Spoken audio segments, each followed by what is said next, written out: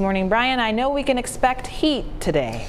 Yeah, when you talk about masks too, it is very tough to wear one in this hot summer swelter. So under the heat advisory, we should all limit our outdoor time today. I want to give you a live look at Elon. Skies are slowly beginning to brighten up. This is nearby Burlington where that mask giveaway is going on. Temperatures are certainly on the warm side today. We're starting out with early morning numbers in the low to mid 70s. Dew points are about as high. We haven't seen much fog developing yet under relatively clear but hazy skies this morning. Farther west, it is a bit more comfortable. Boone at 63.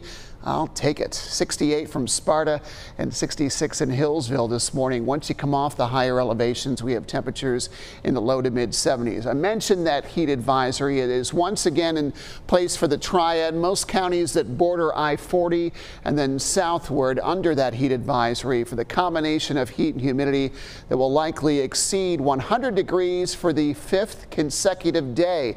In fact, we had a high temperature at PTI Airport of 95 degrees. It's the hottest day of 2020 thus far, and we'll likely get very close to that again today. But as that heat builds, we'll have some showers and thunderstorms developing. Starting in the triad during the afternoon, I think coverage will start to peak in the evening and may linger even past 9 p.m. tonight. Temperatures perhaps not quite as warm in Surry County, Patrick County, into Yadkin and Wilkes. We'll have a high temperature of around 93.